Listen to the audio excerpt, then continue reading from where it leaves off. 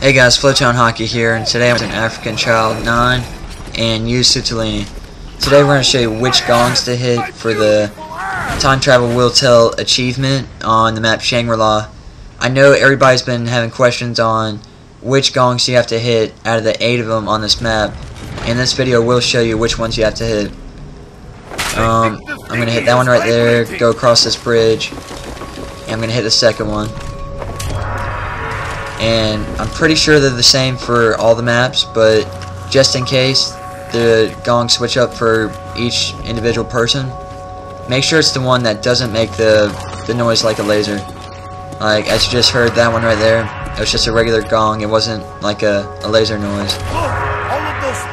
Once you hit the fourth one the meteorites should show like an atomic symbol like yellowish I guess and I'm gonna stand underneath it to catch that stick of dynamite hanging out. And I'm gonna have my friend shoot it with the upgraded Baby Maker gun. Makes that cool, like on a song right there, and I catch it. Alright, this is the second time through that we did it. I'm catching it again. And if you look at that, that's a meteor getting shrinking right now if you look at that top middle of your screen, um, that's the meteorite that your friend with the Pack Punch Baby Maker gun, he has to shoot that meteorite in order for you, that stick of dynamite drop down and in order for you to catch it. So after we do that, we're going to Pack Punch so we can go up to the top of the Pack Punch stairwell and listen to what they're saying and what they need. If we had a stick of dynamite, I could get us in there. Well, unless you brought some, I think we're not getting any further. I had some in my bag, but dropped it when we were attacked by the horde of zombies. Hey, guys! It's happening again!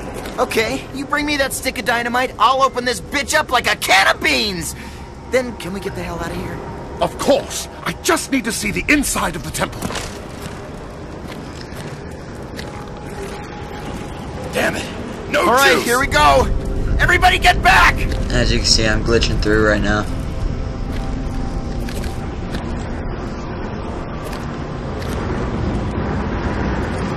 Okay, as you know, there's a time limit on a Pack-a-Punch, so you won't be able to stay up here forever. And I figured out, even if you do stay up there as long as you can, it will not blow up at that moment. You have to wait till the water takes you down like you just did, and then it blows up and it doesn't really show you the explosion. It just kind of happens. So no point in trying to stay up there as long as you can. That you're meant to go down not stay up there and see it. Okay after you do that it goes daytime again. And that's your opportunity to pack punch one more time to get up the stairwell. And here we go. That is what we've been working for for hours on this time travel will tell achievement. As you can see, there's like an alien skull or something to my left, and a monkey skull to my right. Probably two monkey skulls. And the spinning meteor in the middle. And in a second, I'm going to show you what happens when you pick up that meteor. It actually gives you se seven perks on the map. And pretty much those seven perks are... It's like, it puts you in God mode, pretty much because even if you go down you will have seven perks still and even if you get revived or whatever you'll always have seven perks. I feel very powerful. and as you can see right there that was my first time getting it. Along with the achievement you get a gamer picture. Actually you get four gamer pictures. Um, if you want to you can look them up online. I have, I'm not showing them in this video because I forgot to record it but they're nothing too great. It just shows all the four main characters that you're playing as in this game. And now I'm going to show you where I get down right here, just to prove that Meteor saves me, or pretty much it saves the perks. Yeah, that girl, she wanted my junk. She wouldn't leave me alone. And by junk I meant Meteor. So, yeah, don't take that the wrong way.